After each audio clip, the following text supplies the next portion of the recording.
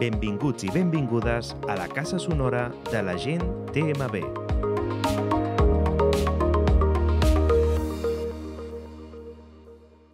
Benvingudes i benvinguts a un nou episodi de la Casa Sonora de la gent TMB, la plataforma d'informació de les treballadores i els treballadors de transports metropolitans de Barcelona. Comencem.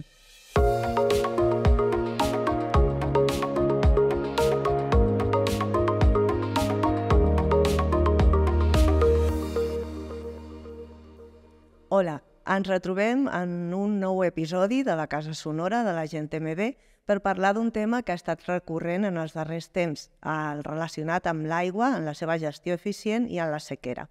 Avui per parlar-la tenim amb nosaltres la Maria José Chesa. Hola Maria José, benvinguda.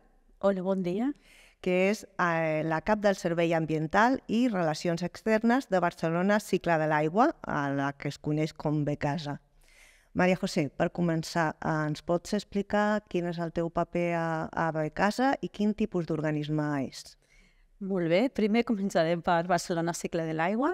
És una empresa pública 100% municipal que té com a missió la gestió del cicle de l'aigua a Barcelona, l'abastament, el sanejament, la gestió del litoral, la gestió dels recursos hídrics alternatius, la protecció mediambiental i tots els àmbits del cicle de l'aigua.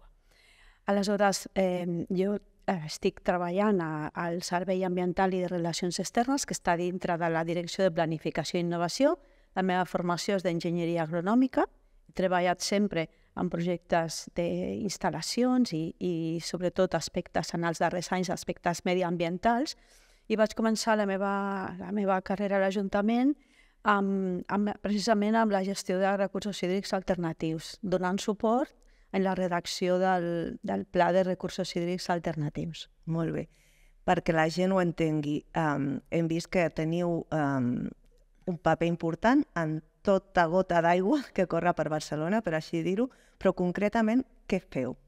Sí, com et deia, um, la missió de Barcelona Cicle de l'Aigua, de Becasa, és poder fer la gestió del, del cicle de l'aigua a la nostra ciutat, en tots els àmbits donant suport a altres administracions hidràuliques, com és l'organisme de Conca, l'Agència Catalana de l'Aigua, l'àrea metropolitana de Barcelona i altres doncs, eh, organismes que també estan treballant sobre el cicle de l'aigua, com poden ser doncs, tots els gestors de, del litoral. I aleshores, amb, amb aquesta visió holística, integral del cicle de l'aigua, la, la gestió es pot fer molt millor. Vale? Aleshores, l'abastament, estem treballant amb el que seria doncs, tota, tota l'extensió dels recursos hídrics alternatius, que després eh, o sigui, us explicaré amb, amb més detall, que és, això és superimportant. De què parlem, no?, quan parlem de... Exactament. Després també doncs, tota la gestió del drenatge urbà, del sanejament, del clavegueram. Uh -huh. um, també, com, com us deia, és molt important que la, la gestió de, de les platges, de la qualitat de l'aigua, de les sorres, dels serveis, estigui el millor possible per la ciutadania i per tot el turisme, val? també és molt important. I altres àmbits del cicle de l'aigua, doncs, com, són doncs, recolzar les administracions hidràuliques en la protecció del medi, també fem treballs per, per altres administracions per a, donar col·laboració en el coneixement de quantitatiu i qualitatiu de les masses d'aigua que, que tenim a Barcelona. O sigui que parlem molt més enllà de gestionar l'aigua potable. A veure, és, és, ja t'he dit, és una visió holística de, de, de fet, tots els ajuntaments tenen aquestes competències i responsabilitats, gestió d'abastament i sanejament i després la protecció del medi. El que passa és que en alguns dels àmbits doncs, hi ha una delegació o, o una, un trasllat de funcions, en el nostre cas de l'aigua potable a l'àrea metropolitana, mm. i la gestió també de lo que serien les depuradores, val? Però l'Ajuntament sempre ha d'estar allà i vetllar per la, o sigui, complir les seves responsabilitats i vetllar també per donar suport a la, o sigui, per, perquè d'alguna manera la protecció de, del medi i la conservació del bon estat del cicle de l'aigua doncs sigui possible. Uh -huh.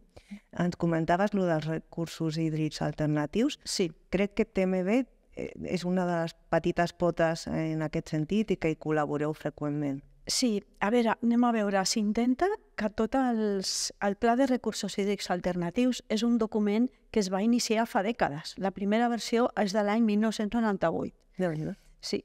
I en, el, en, el primer, en la primera edició d'aquest Pla de Recursos Hídrics Alternatius es van buscar tots els recursos d'aigua subterrània que era fàcilment eh, utilitzables perquè hi havia quantitat i la qualitat era suficient pels usos. Aquests usos alternatius són el rec dels espais verds, de les instal·lacions esportives, també el subministre a les fonts ornamentals, uh -huh. les que són d'alguna manera per aquest aspecte estètic i també per, per allotjar la, la, la fauna i la flora que tenim a aquestes fonts ornamentals. En cap cas són fonts de veure, que no, això és, que, que ho clarifiquem molt bé, exacte.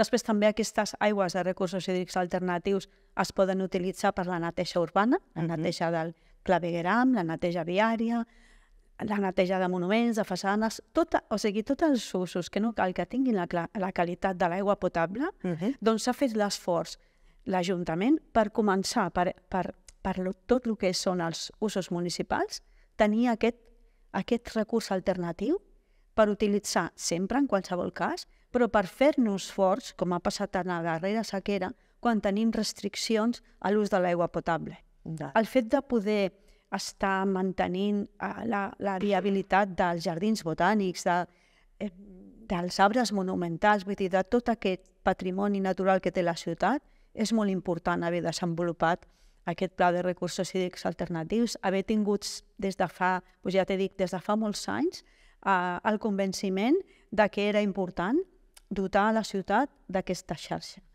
Aleshores, també m'agradaria explicar-vos que la darrera versió del Pla de Recursos Hídrics Alternatius, la darrera és de, de l'any 2020, igual que el Pla de Sanejament de Barcelona, va ser un any, l'any de la pandèmia, però també al mateix temps, a nivell del cicle de l'aigua, molt important perquè es publiquen aquests dos plans directors de, uh -huh. del cicle de l'aigua per Barcelona. No?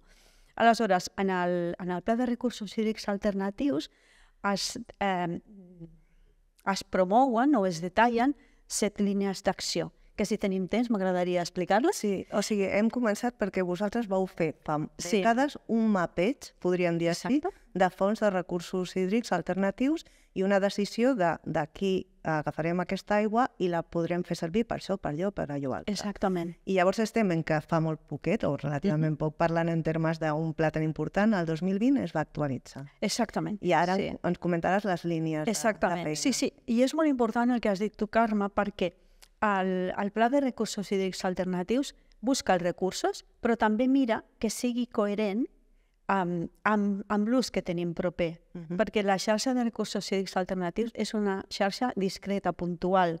Vull dir, tenim eh, un, una captació, pot ser un, un pou, que pot ser nou o aprofitat de, dels antics pous que teníem a la ciutat, i després doncs, tenim un sistema que consisteix doncs, amb, amb, els, amb els equips de captació d'aquesta aigua subterrània, després un, una acumulació, un dipòsit, i després tots els circuits que van doncs, als circuits de rec, als de neteja, vull dir, que cada, cada sistema el que intenta és donar servei als usos i als volums que tenim propers amb aquest, amb aquest sistema, amb aquest pou. La màxima eficiència. Exactament.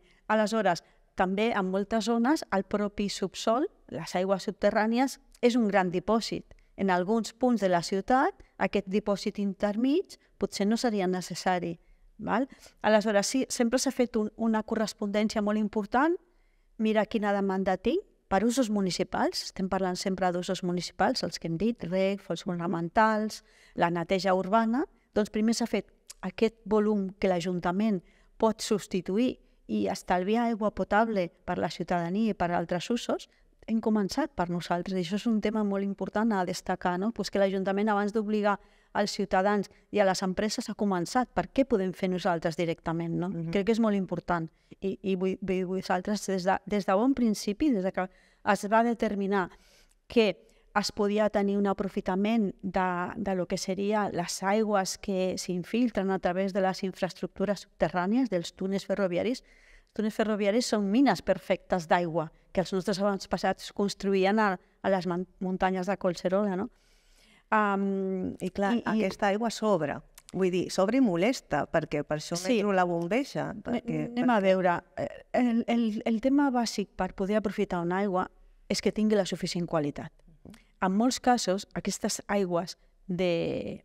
que no són pròpiament aigües de captació d'un pou, d'una zona que tu ja saps que el pou té molt bona qualitat, sinó que són procedents d'un no sé com explicar-ho, d'unes filtracions que es produeixen en una infraestructura, una infraestructura lineal que en molts quilòmetres poden passar moltes coses.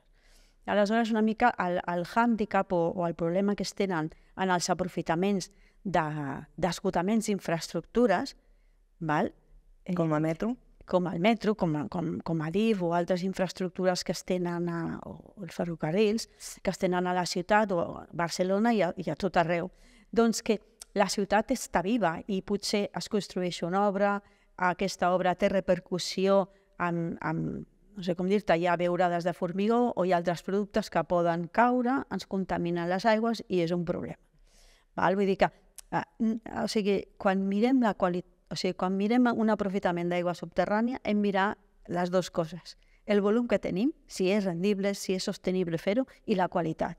Uh -huh. Perquè, o sigui, l'aprofitament de les aigües subterrànies es planteja com sense haver de fer una depuració, sense haver de fer un tractament, perquè aleshores es faria molt complex això. Val. No sé o sigui, si m'explico. Ha de tenir prou qualitat per poder aprofitar-la directament. Exactament, així ho has dit tu. Val. I en alguns casos, malgrat que tu veus l'aigua clara i que tot semblaria que es podria aprofitar, la nostra referència de salut pública a Barcelona és l'Agència de Salut Pública, i amb ells hem treballat aquests llindars de qualitat que són molt importants complir. Val. Vale? Val. I com... dir, que, que és això, o sigui, no, no totes les aigües de recursos hídrics alternatius són aptes directament per a l'aprofitament. Aleshores, clar, hem de mirar pues, que sigui unes inversions i uns manteniments sostenibles a nivell, evidentment, el primer mediambiental, a nivell social, que puguem donar a totes les àrees de Barcelona el mateix, el mateix interès i, i la mateixa intenció, i econòmic. Vull dir, sempre d'haver-hi les tres potes quan Clar. decidim si un, un sistema, una inversió pot tirar endavant. Vale? Vale. Aleshores sí que m'agradaria que em deixessis explicar-vos les set línies d'acció del Plarà, tant. molt breument. De la primera és la que estem parlant ara, que és aigües subterrànies, mm. que ja sabeu que a Barcelona tenim relativament, doncs, estem entre dos deltes, del Ter del Besòs i del, i del Llobregat. Tenim el Pla de Barcelona i històricament doncs, hem tingut molt aprofitament de l'aigua subterrània. Uh -huh. vale? eh, la segona línia d'acció seria l'aprofitament de les aigües regenerades procedents de la, de la, e, de la era del Llobregat. Uh -huh. val? També estem desenvolupant en aquest moment l'aprofitament de les aigües grises. Què són? Les aigües grises, eh, sobretot, estem tramitant en aquests moments l'ordenança per, per aprofitament d'aquestes aigües grises. Són les aigües que provenen de les dutxes i banyeres, principalment en àmbit domèstic, però també poden ser hotels o instal·lacions esportives o centres que tinguin vestidors i puguin tenir també un, diguéssim, una producció de dutxes uh -huh. i al mateix temps doncs, un consum per, per aquestes aigües que aprofitem. ¿vale? Aleshores, en eh, l'ordenança que estem treballant, que s'ha fet el procés participatiu, que s'estem ara a nivell de, de tots els informes que són necessaris, doncs eh, aprofita aquestes aigües de les dutxes i banyeres per després, amb un tractament de, que es faria a cada una de les comunitats o a cada edifici, poder-les utilitzar per la descàrrega de sanitaris, també per l'ús del rec goteig i també està permès la, la neteja.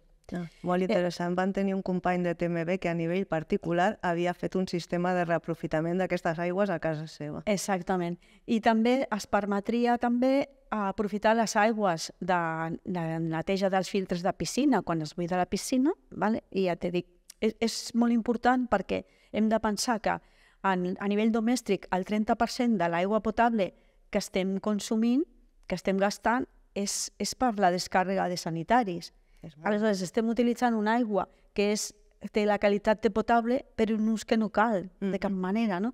Aleshores, crec que és molt important aquest esforç i, i altres ajuntaments propers a nosaltres, com Sant Cugat, també Sant Adrià o altres, o altres ajuntaments propers han desenvolupat aquesta ordenança i tenim la sort nosaltres de poder aprendre de tot el que han desenvolupat i, i d'aprofitar doncs, tots els èxits i els errors pues, buscar una altra, una altra alternativa, no? Molt bé. i creiem que és importantíssim. bueno, la línia 4 seria l'aprofitament de les aigües pluvials en coberta. També tenim molt recorregut a Barcelona per fer. Mhm. Ja sabem que és un aprofitament també alternatiu i que no tindrem sempre, precisament quan tindrem sequera, aquest recurs no el Quan tindríem. no plou, no... Exacte, però si nosaltres mirem una masia a Collserola i la mirem en detall, o, o un edifici dels que el Gaudí feia a la nostra ciutat i a tot el món, doncs tenia sempre un aprofitament de les teulades, que és aigua molt neta, Mhm. si es podia un pou, uh, si tenies aigua de mina, la millor per beure. Vull dir que, i, i clar, quan rentaven els plats, quan feien les coses, aquesta aigua la tornaven a aprofitar. Doncs hem de recuperar aquesta manera que tenim, que la tenim els nostra gent d'estalviar l'aigua, Mhm. val? I, i d'alguna forma doncs, poder-la fer amb els materials i les tècniques actuals. O sigui, la vida urbana ens ha fet oblidar una mica un, uns usos sostenibles que es feien abans.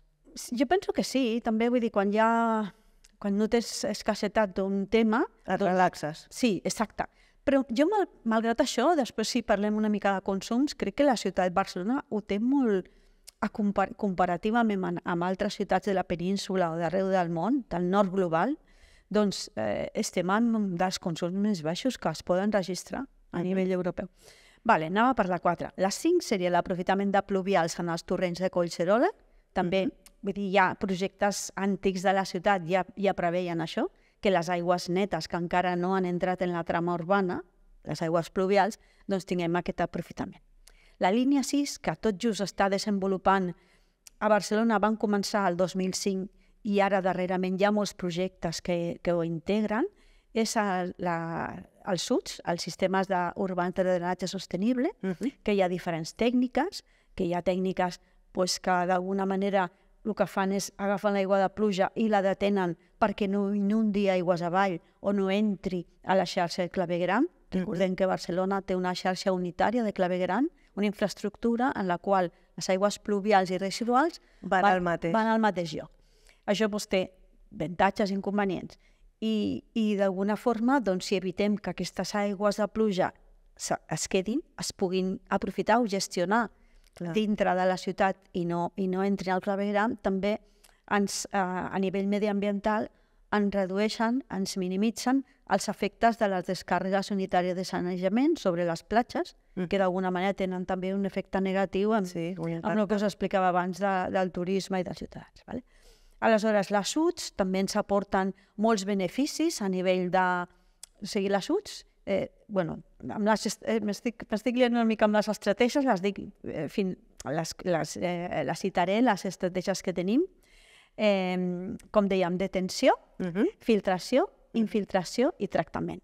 Val. Aleshores, l'Ajuntament, molt preocupat per la qualitat de com s'executin tots aquests, eh, tots aquests sistemes, no val tot, vull dir, d'alguna manera s'ha de fer amb, un, amb una garantia que la gestió de les aigües sigui la correcta. Mhm. Pensem que per infiltrar les aigües als aqüífers, a les, o sigui, al subsol, pràcticament necessitem una qualitat de l'aigua de beure. Necessitem, un, o sigui, els nitrats molt baixos, tal, de manera que directament les aigües d'un vial Uh -huh. no, no les podríem infiltrar Clar. directament si no els hi fem un tractament previ. Val. Per això, per aquest motiu, també el 2020, l'Ajuntament, amb, amb tot el que és la Comissió de Suds, que integra diferents àrees que, en els que treballen els SUDs, perquè pensem que les SUDs són elements holístics, on tenim verd, on tenim paviments, on tenim doncs, tot el cicle de l'aigua. I això es, es requereix arribar a un consens, perquè per lo que un paviment pot estar fantàstic, a nivell d'infiltració, doncs després resulta que rellisca i no pot funcionar.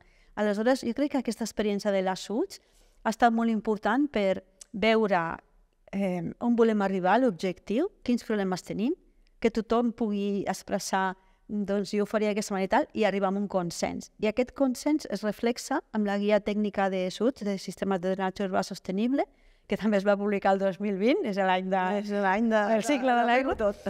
I, i és, està molt bé aquest, aquesta, aquesta guia perquè dona uh, eines als projectistes, als mantenidors, vale? per tal de fer la millor, el millor disseny i, i execució d'aquesta drenatge urbà sostenible, que és la L6.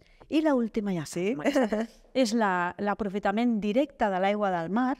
Això eh, ho vam estar mirant a veure què es podia fer amb, amb l'aigua del mar i vam contactar amb la ciutat de Hong Kong, que allà, per exemple, el 80% de les aigües que es fan servir per les descàrregues de, dels sanitaris, això que aquí estem pensant amb aigües grises, doncs allà fa ja temps que ho estan fent amb aigua de mar directa. Mm. Aleshores, han hagut de fer doncs, tota una doble xarxa, han hagut de canviar els sistemes de depuració que puguin també assumir aquesta aigua de mar i, i és el que dèiem, l'escassetat d'un recurs doncs et fa que hagis de... Que la imaginació Exacte. treballi al I màxim. sobretot fer-ho amb les tres potes. Vull dir, que arribi a tothom, que sigui solidari, que sigui eh, socialment doncs, també acceptable i sostenible. Mhm. Després el tema mediambiental i l'econòmic. Sempre estem amb, amb el mateix. Jo amb el missatge que m'estic quedant és que podem estar tranquils perquè s'està fent molta cosa i s'està fent bé i de manera molt coordinada. En el cas concret de, de Metro, els objectius que us vau marcar eh, s'estan assolint o, o estem caminant cap a ells? Anem a veure. Um, en, de cara a, a l'aprofitament de les infraestructures, eh, nosaltres o sigui, estem aprofitant les, les aigües de, de diverses estacions de TMB, algunes a, a, arrel d'obres que s'han fet a la ciutat eh, temporalment s'han hagut de clausurar perquè la qualitat no era suficient. El que deies de que és Exacte. viu, tot és viu. Exacte. Mhm. Però és, la ciutat està viva i la hidroge hidrogeologia urbana és un tema que hem d'estar molt pendent. Hem de fer moltes analítiques per garantir que la qualitat és la que necessitem. Recordem que hi ha ara normatives de prevenció de legionela i altres. mm, L'aigua doncs, pot tenir, si no, es, si no es treballa bé, problemàtiques de mosquits, ja ho sabeu. Vull dir que realment hem d'estar a sobre i incidir molt amb el tema de la qualitat. I malgrat això, doncs, tenim en, en servei eh, diverses estacions, també estem aprofitant les aigües del que seria l'escenari del Gran Teatre del Liceu. No. És una infraestructura que no és, diguéssim, no és estanca, no és impermeable, deixa entrar aigua i aquesta aigua l'aprofitem. En aquest cas, doncs, és, és un... No sé si m'explico. No és un pou exactament, però a nivell de lo que és la, la conservació de la qualitat sí, i és un bon Un exemple. recurs més. Exactament, uh Ahà. exactament. I les del metro, concretament, per què les utilitzeu? Per rec? Per... Sí, les utilitzem per regar, o sigui, nosaltres d'alguna forma tenim uns llindars de qualitat, que són doncs, els que els requerim per la, els més restrictius són per subministrament del rec, pensem que es fa rec per aspersió, amb la qual cosa has de complir tots els requeriments del Real Decret de, de Prevenció de Legionela, Uh -huh. val? no és aigua potable, però, però s'aproxima molt. Val? I també doncs, les fonts ornamentals, que pensem la font màgica, ah, quan estigui en funcionament, es subministrarà doncs, amb aigua que precisament prové del Liceu. Ah, Sí. I, i d'alguna forma doncs, doncs, eh, hem, de, hem de tenir molta cura de, de tot el que és la, el seguiment de la qualitat. Hi ha molt esforç analític, d'avaluacions de riscos, de totes les entitats municipals, inclosos vosaltres, perquè això sigui un aprofitament sostenible i segur. En quin missatge voldries acabar? Tenim en compte que la sequera no, no s'ha acabat. Ui, la veritat és que us podríem dir molts temes, però, però m'agradaria destacar-ne un, que és eh, que hem de tenir cura del cicle de l'aigua en sentit molt ampli. I sobretot hem de procurar cuidar les aigües en origen. M'agradaria destacar-vos i convidar-vos a que veiéssiu una, una campanya que hem fet aquest any passat, eh, que es diu Les aigües residuals parlen de tu, Uh -huh. que està dintre del projecte Horizon 2020 Score Water, que és un projecte que és, és el primer projecte que es fa a Barcelona um, de sociologia i epidemiologia basada en les aigües residuals. Uh -huh. Vale? Coses tan curioses, si haguéssim estat eh, monitoritzant ahir el partit o els partits de futbol, que tothom va al lavabo o el que sigui a la mateixa hora, doncs veus un pic de cabal, no? Vull dir, veus comportaments, o sigui, també pots veure l'hora que un barri s'aixeca, perquè veus el cabal que registra, Mm. si marxa o no el cap de setmana, això a nivell quantitatiu. I a nivell qualitatiu, doncs es veu el comportament mediambiental de, de la població que contribueix a fer aquestes aigües residuals. Per exemple, doncs les tovalloletes, ja sabeu que és un greu problema, Sí. i malgrat que hi ha molta consciència, doncs això té molt efecte molt negatiu, perquè eh, els productes, eh, en alguns casos diuen es desfan a X hores, això no acaba sent veritat, a les condicions... Potser al laboratori és veritat, jo no dic que la gent menteixi, però a les condicions A la de camp... natura no. No. I això realment és un greu problema. Eh, els perfums, tots els productes que porten aquestes tovalloletes estan contaminant el medi. O sigui, estan contaminant les nostres espècies, eh, al mar, als rius, i això s'ha de tenir molta cura. Vale? També problemes d'olis i greixos, llançar menjar al clavegram, tot això genera doncs, olors, plagues, les rates i totes les plagues no estarien al clavegram si no tiressin menjar, si no actuessin malament, Mm. tant a nivell domèstic com hi ha restaurants que actuen d'una manera molt poc responsable, molt incívica, molt fora de la llei, que estan abocant subproductes al clavegram. Bé, Això és, vull dir, hem d'explicar-ho perquè realment eh, ja sabeu que aquest any doncs, a Barcelona ha incrementat la seva resiliència i tota l'àrea metropolitana fent ús de les aigües regenerades, aigües que provenen de les aigües residuals. Amb la qual cosa, el cicle de l'aigua, o sigui, igual que pensem que al nivell del planeta no hi ha més molècules d'aigua de les que de les que es va iniciar quan, quan, en el Big Bang, d'alguna manera, quan tot es va iniciar, doncs hem de pensar que, que l'aigua l'hem de cuidar, que és un cicle. Val? I jo penso que això ca, cada vegada a, aquí a Barcelona hi ha cada molta, més. molta consciència Mm -hmm. molta consciència.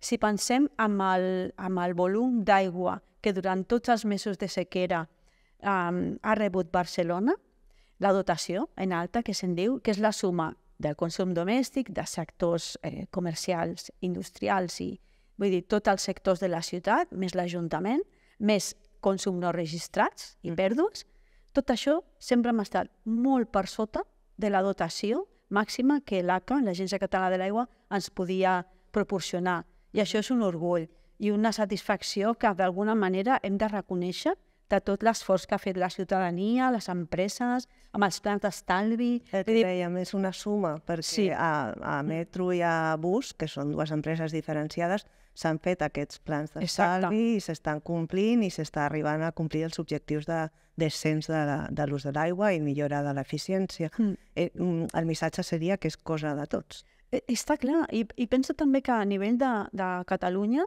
i de, i de Barcelona, àrea metropolitana, el fet de que tinguem una factura, una facturació per trams, on quan hi ha un bon comportament mediambiental, les persones que eh, els seus residus els porten a reciclar al punt verd, tenen uns, una targeta i un descompte amb les Jo la faig factures. servir. Evidentment, doncs això ho hem d'explicar, que els bons comportaments tenen premi i que realment, doncs, això que tenim aquí la facturació per trams, amb altres regions o altres països no ho tenen. Mm -hmm. I, I al contrari, qui gasta més és més barata, perquè, perquè gasta més.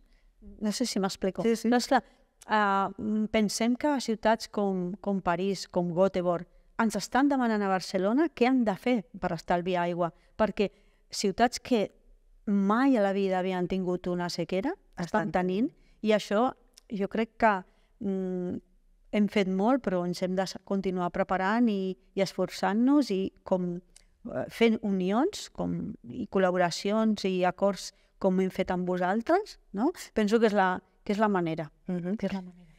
Bueno, espero que aquest programa també serveixi per continuar conscienciant i moltíssimes gràcies per haver-nos acompanyat, Maria José. Moltes gràcies a vosaltres. En nom de Barcelona Cicle de l'Aigua, doncs sempre és una oportunitat poder expressar els nostres reptes i sobretot doncs, reconèixer el valor que, que hi ha de la ciutadania i també, eh, no sé, el proper repte del Consell eh, Ciutadà per la Sostenibilitat, eh, si actualment estem amb 100 litres habitant dia de consum domèstic, Mm -hmm. és baixar-ho a 90, juntament amb el repte de, de, de la descarbonització. Vull dir, penso que, que estem en una ciutat que això ho té molt clar i que realment vol encara fer més esforç per, per ser més resilients i estar més preparats per futures sequeres. pues hem de continuar així. Moltes gràcies.